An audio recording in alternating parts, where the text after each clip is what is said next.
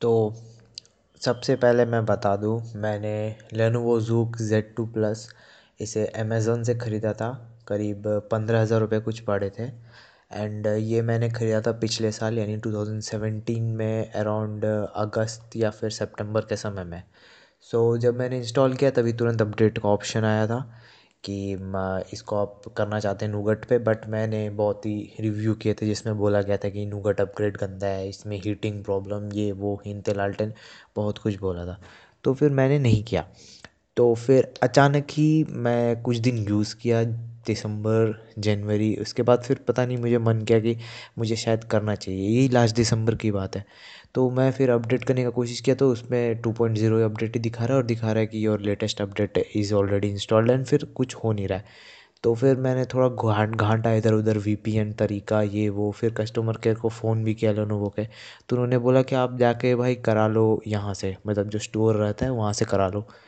तो फिर मैंने कैश ले लिया बोला छोड़ो जाने दो यार, वैसे भी फालतू अपडेट है, कोई फ़ायदा नहीं है।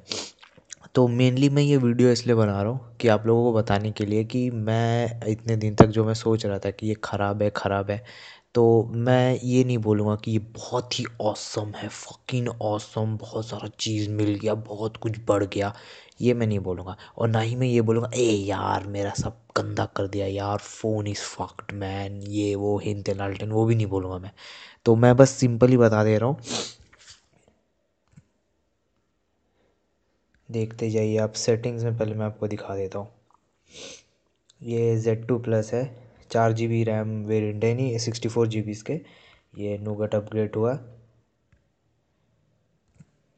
ठीक, और तो इसमें देखिए, मैं जहाँ तक बोल रहा हूँ गेमिंग परफॉर्मेंस मैं एक भाई गेमिंग का कीड़ा हूँ। ठीक, मुझको पता है कि कौन सा गेम कैसे चलता था, कितने की रिजोल्यूशन में, क्या किसमें तो मैं बोल रहा हूँ गेम में कोई इफ़ेक्ट नहीं आया है। हीटिंग प्रॉब्लम का आप बोल रहे हैं तो हीट भाई पहले भी करता था, अभी भी कर रहा है। ना बढ़ा है, ना घटा है। बैटरी ड्रेन का बोलेंगे तो मैं बोलता हूँ आपको, बैटरी ड्रेन का भी ना सुधार हुआ है, ना ख़राब हुआ है, सब कुछ सेम है। बैटरी भी वैसी ही ड्रेन हो रही है। और मतलब जैसे पहले होती थी, वैसी ही हो रही है। तो ऐसा कोई बात नहीं है कि बैटरी बहुत ज़्यादा ही निकल रहा है, इसके बाद और हीटिंग प्रॉब्लम बढ़ गया माइनर ग्लिचेस एंड हिन तेन जो भी है। तो अब मैं दिखा देता हूँ कि भाई करूँ क्यों मैं फिर? ठीक तो सबसे पहला है, सिर्फ़ मेनली दो चीज़ इसमें आया हुआ है, दो फीचर्स एक है आपका स्क्रीन रिकॉर्ड करने के लिए, जिस रिकॉर्डर को यूज़ करके मैं ये कर रहा हूँ काम। दूसरा है आपका स्प्लिट स्क्रीन फीचर मैं आपको स्प्लिट स्क्रीन फीचर भी दिखा देता हूँ। आपको पहले यहाँ से लैब सेटिंग्स में जाकर स्प्लिट स्क्रीन को ऑन करना पड़ेगा। फिर यहाँ पे आपकी ऑप्शन आ जाएगी। और दो चार चीज़ माइनर बहुत सारे हैं, जैसे देखिए ऑल एप्लीकेशन जो है इसमें ये आ गया है। फिर आप लॉक स्क्रीन का और होम स्क्रीन का अलग अलग वॉलपेपर लगा सकते हैं, जो आपको एक दो दिन यूज़ करने में बहुत अच्छा लगेगा बट फिर लगेगा कि हाँ भाई, कैज़ लो। ठीक है नॉर्मल है, चलो, होता है। तो मेनली यही दो फीचर मेरे को समझ में आया और हाँ कैमरा में एक मैनुअल मोड अब ये दिया गया है बट मैनुअल मोड मैं भाई क्या यूज़ करूँगा? झंडू है, कुछ नहीं होता। ऑटो में करके खींचो, वही सही है। मैनुअल मोड में मेरे को खुद कुछ समझ में नहीं आ रहा। हाँ भाई, कोई जो अगर डी एस एल आर वेस एल आर चलाता है फ़ोटोशॉपिंग का बहुत शौक रखता है तो उसके लिए हो सकता है कि थोड़ा सा वो ज़्यादा हुआ है। तो वो भी मैं आपको दिखा दूँगा क्या क्या चीज़ है। पहले मैं आपको स्प्लिट स्क्रीन का दिखा देता हूँ। तो आप देखिए हॉरिजॉन्टली वर्टिकली भी होता है ऐसा स्क्रीन स्प्लिट और अगर आप हॉरिजॉन्टली कर दोगे तो ऐसे भी हो जाएगा। तो इधर पे आप ये दो चला रहे हो। यहाँ पे आप चलो, जैसे गैलरी खोल लिए। इधर पे आपको अगर कुछ और करनी है, अबाउट्स में, ये भी आप देख लो। ठीक स्प्लिट स्क्रीन से बाहर जाने के लिए सिंपल, बाहर का की प्रेस करोगे, हो जाओगे, ठीक। ठीक है तो ये एक फ़ीचर हो गया आपका स्क्रीन रिकॉर्डर का, जिसे रिकॉर्ड कर रहा हूँ मैं। आप क्वालिटी देख लो, क्या है सही, क्या है गलत, पता नहीं।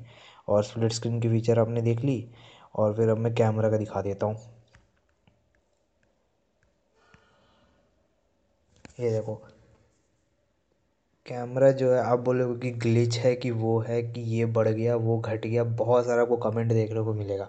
बट भाई, मेरे को कोई अंतर नहीं लग रहा है। जैसा था पहले, वैसा ही अभी भी है।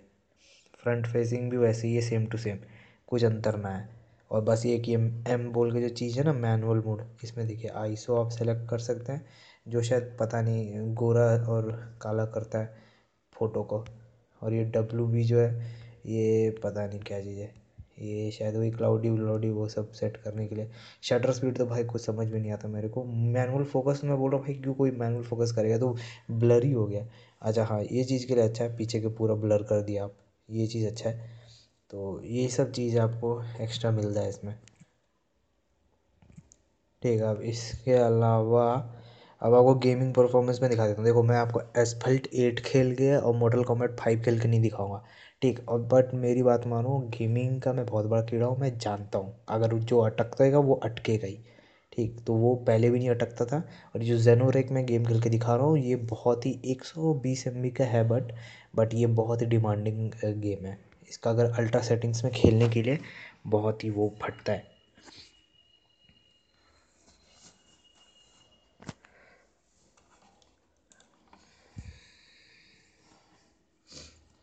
ठीक है, ये देख लो आप। रिजोल्यूशन है हंड्रेड पे डिटेल्स है कहाँ पे डिटेल्स है हाई पे रिजोल्यूशन है हंड्रेड पे। ठीक? अब देख लो कहीं भी अटकेगा तो बोलना मेरे को। कोई प्रॉब्लम नहीं है, कुछ मेरे को नहीं लग रहा भाई कि पहले से ख़राब है। तो अगर आप अपडेट करना चाहते हो और आपको अगर ये दो तीन फीचर जो मैं बताया इम्पोर्टेंट यही सब अगर आपको चाहिए तो आप अपडेट करिए, नहीं तो आप नहीं भी कर सकते, कोई मतलब टॉप चीज़ नहीं है। ये कर किया था, इसीलिए। तो वही रहा कोई टॉप चीज़ नहीं है कि बहुत ही मज़ा आ जाएगा तो बहुत ही चीज़ पड़ जाएगा, ऐसा कुछ नहीं और हाँ कुछ खराबी भी नहीं है ठीक तो प्लीज़ आपको अगर अच्छा लगा ये वीडियो, और अगर सही में लगा कि नहीं लेनोवो ज़ूक का जितना जो सब लोग बुराई कर रहा है, या फिर जो भी मतलब इधर उधर बोल रहा अगर वो सब चीज़ से आपको ये वीडियो देख के समझ में आया कि डिसीज़न लेने में आपको सहायता हुई तो प्लीज़ लाइक करिए शेयर कीजिए सब्सक्राइब करिए, पैसा मिलेगा। भाई गेम खरीदना है यार प्लीज़ पैसा मिलेगा मेरे को। Share like and comment thanks for watching